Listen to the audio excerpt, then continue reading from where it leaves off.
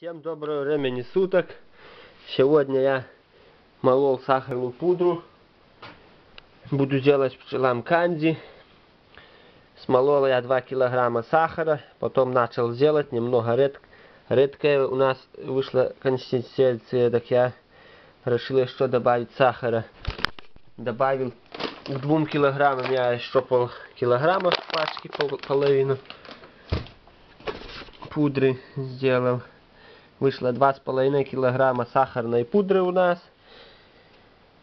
Потом добавил на все это дело полкилограмма меда и стакан воды. Но все-таки, наверное, с водой немного перебрал. Я кружкой отмирал. Наверное, не, не, не 250 миллилитров вышло, а все-таки где-то, может, 300, даже больше. Потому и вышло такое редкое. Ну, так, что рассказать. Готовлю я канди первый раз, так что может что неправильно.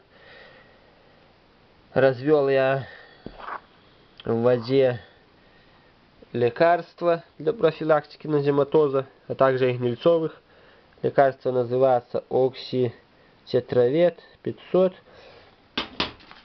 Вот способ применения здесь расписан его и для животных применяют. Короче, на полкилограмма меда и 300 миллилитров воды я добавил 12 грамм этого порошка. В общей сложности, что я расскажу, как я делал, воду нагрел до теплого состояния, потом добавил туда 12 грамм порошка оксите окситетравет 500. Добавил порошка, все хорошо перемешал. Потом ту воду вылил в миске полкилограмма жидковатого меда, но уже севшего. Также хорошо перемешал до однородной консистенции и вылил те 300 мл воды с лекарством и мед что замучил полкилограмма, вылил э, 2 килограмма сахарной пудры, которую я перед этим смолол. Хорошо так вымешал, но вышло редковато у нас. И вот я пришел, добавил еще полкилограмма пудры. Уже вот получается погуще все это дело у нас. Напомню, что готовлю я канди первый раз. Хотя пчел уже держу, наверное, годов 20. Но никогда не подкармливал весной. И за все эти 20 лет от голода пропала всего лишь одна семья. И то она э, это расплод растить начала. Ну, не считаю той год, что пропала семья. Там какая-то болезнь, наверное, была потому что корма были. И вот сегодня тоже полез пропала семья, тоже корм был, а пчел не было. Там все с осени, скорее всего, где-то. Или их грабили, и они перебились. Или что растили расплод, так сносились пчелы, да, мало осталось.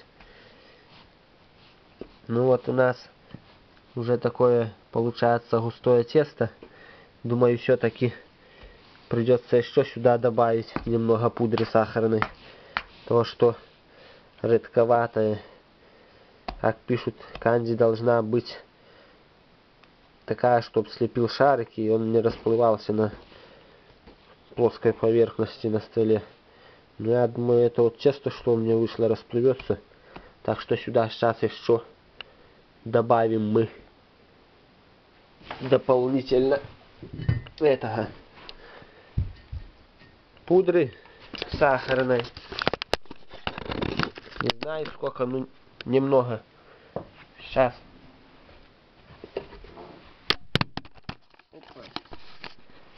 Пала наша камера задел.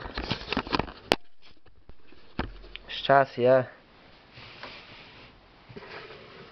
сделаю еще немного пудры по-быстрому. Ну, думаю, последняя уже порция. Опа. Так. Немного переборщил. В итоге, думаю, наверное, 3 килограмма даже сахара пойдет. А не два с половиной. Это три, три с половиной. Можно было, мне кажется, немного больше добавить. Уже не будем так.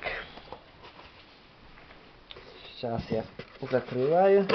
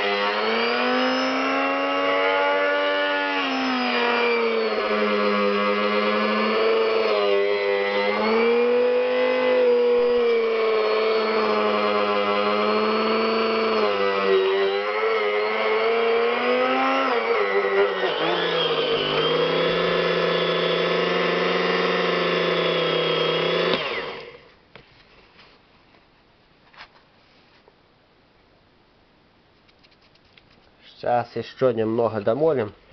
То, что есть сахар крупный.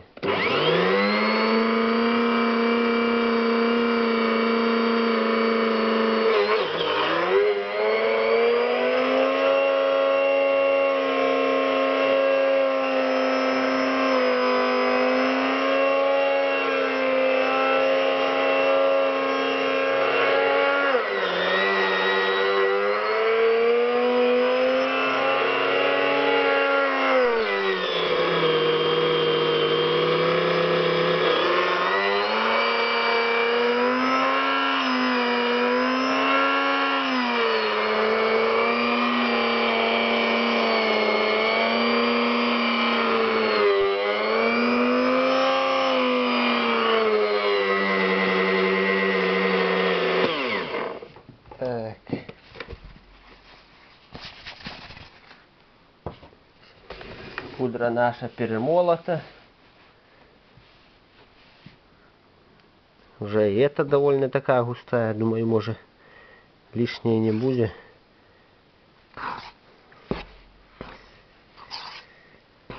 Сейчас посмотрим. Может и не будем добавлять. К рукам липнет. А также еще я добавил где-то пол столовой ложки этой оливы растительного масла на всю эту массу. Масло не знаю для что добавляют. Это такой рецепт я вычитал. Но скорее всего, что чтоб при вымешивании к рукам не липло. Но руками я не буду вымешивать, то что за камеру липкими руками браться неохота.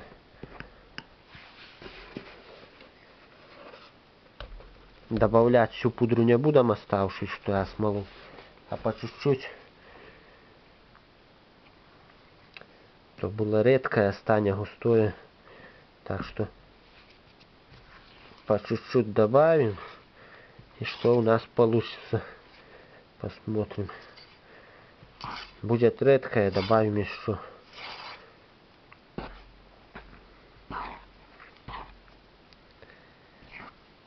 Скорее всего, надо сделать, чтобы такая была вот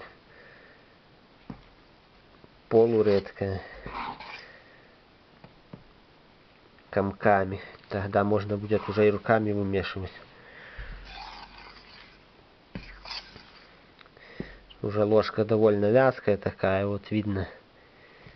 густое тесто вышло. Думаю, если оставшуюся добавить, но совсем густое будет. Так как есть что комки, они разобьются и выйдя, наверное, по консистенции уже как положено. Не знаю, можно не руками вымешивать, такую густую положить пакеты, потом в пакетах проколю дырочки мелкой иголкой и положу на потолоченное отверстие для прикормки. Думаю, можно немного еще добавить все-таки.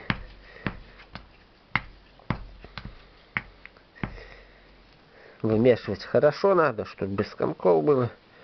То, что комки пчелы не поберут. Так, без комков хорошо будет. Еще такие что добавим немного пудры этой.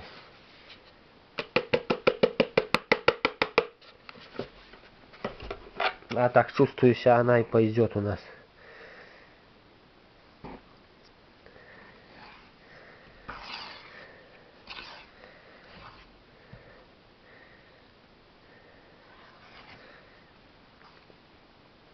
Конечно, сироп попроще было поставить. Только что на улице тепло, могут пчелы полезть на вылет так как еще вокруг снег лежит всего лишь 4-3 тепла где-то так, то они пропадут. Так что будем ставить вот такую смесь густую.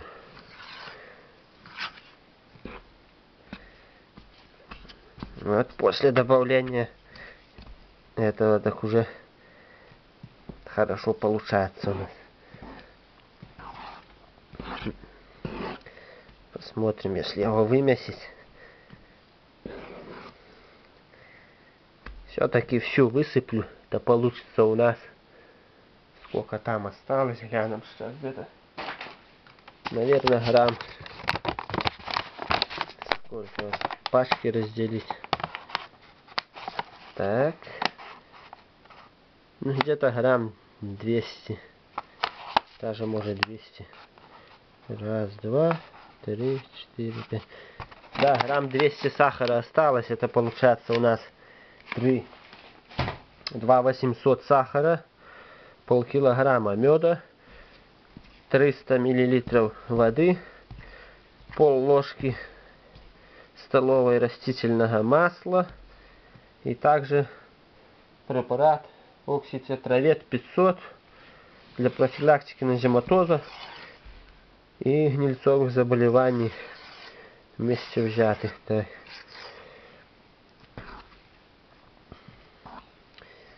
То, что непонятно, что за весна еще будет, надо прикормить. Если сейчас 20 морозу ляснет, то, конечно, не очень. Те годы уже в конце февраля, начале марта облетывались пчелы. А сейчас они будут испытывать 20-градусный мороз. Да если бы он был постоянный, а то туда-сюда скачет эта температура, то плюс 5, то минус 20 через 2 дня. Того они пропадают пчелы от таких перепадов. Добавлю я, наверное, все-таки оставшуюся эту пудру.